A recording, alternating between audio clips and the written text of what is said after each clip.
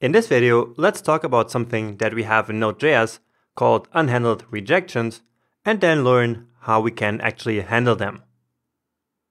So at this point, we have successfully handled errors in our Express application by passing operational asynchronous errors down into a global error handling middleware. This then sends relevant error messages back to the client depending on the type of error that occurred, right? However, there might also occur errors outside of Express. And a good example for that in our current application is the MongoDB database connection. So imagine that the database is down for some reason, or for some reason we cannot log in. And in that case, there are errors that we have to handle as well. But they didn't occur inside of our Express application. And so of course, our error handler that we implemented will not catch these errors, right? And so just to test what happens, let's go ahead and change our MongoDB password, okay? Because that way we're not gonna be able to connect to the database, right? And so we should then get some kind of error. And so let's go here to our server file and uh, save it in order to reload our server. Let's increase it here. And indeed, here we have an unhandled promise rejection. And so that is actually the topic of this video. So an unhandled promise rejection means that somewhere in our code there is a promise that got rejected. But that rejection has not been handled anywhere. Alright? And down here you also see a deprecation warning, which says that in the future unhandled rejections will simply exit the node program that's running, which might not always be what you want. Okay? So let's fix this problem and get rid of this unhandled promise rejection. Now, in this simple example here, it would be actually quite easy to handle that rejection, right? All we'd have to do would to come here to this piece of code where our connection is actually done and then add a catch handler there, right? So a bit like this. And then in here, we could handle that rejection and would then no longer get this error. Let me just quickly show that to you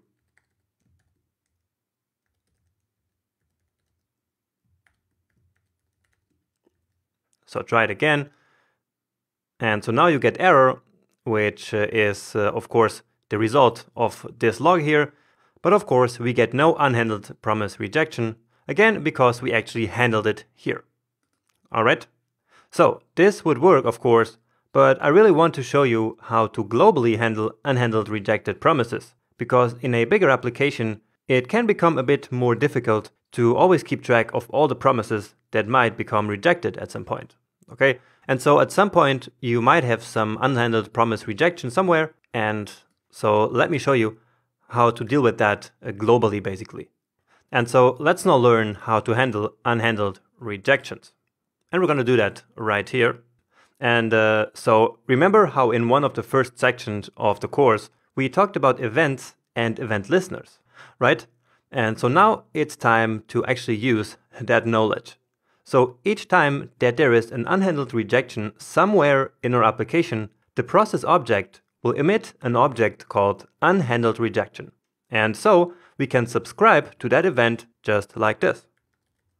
So process.on, remember, and then the name of the event, unhandled rejection. And then the callback function here uh, receives an error and so let's actually go ahead uh, and log the error uh, to the console. So let's uh, use error.name and error.message. So these are kind of some defaults that we have on all errors uh, in Node.js. All right. Okay, and after saving, we already down here get the name of the error and also the error message. So bad authentication which is because, of course, we have the wrong password. And so right now, the unhandled promise rejection is now actually handled. And of course, not just the one from this failed connection, but any other promise rejection that we might not catch somewhere in the application is handled here in this final, uh, let's call it safety net. All right. So we always have to assume that we as programmers are going to make errors. And so it's always best to have a central place like this to handle all promise rejections like a last safety net. All right. Now, if we really have like some problem with the database connection like we have in this example, then our application is not going to work at all. And so all we can really do here is to shut down our application. All right. So to shut down the application, we use process.exit. And we actually already used that before in that script where we imported all the data into uh, the database from the JSON file, remember?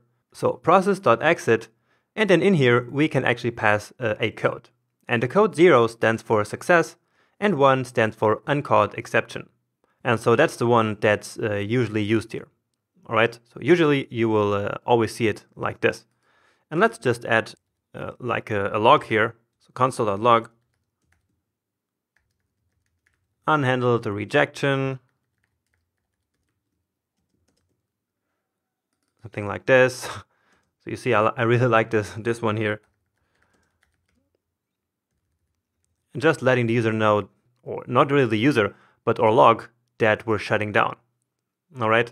And so now you see that the app actually crashed. And so that's because of this process.exit here. All right.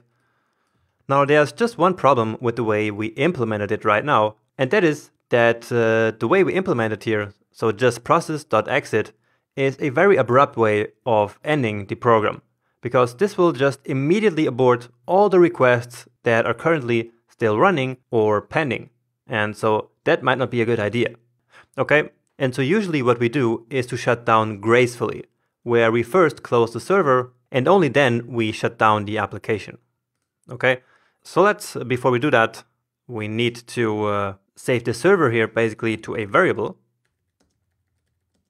Okay, and so the result of calling app.listen is a server.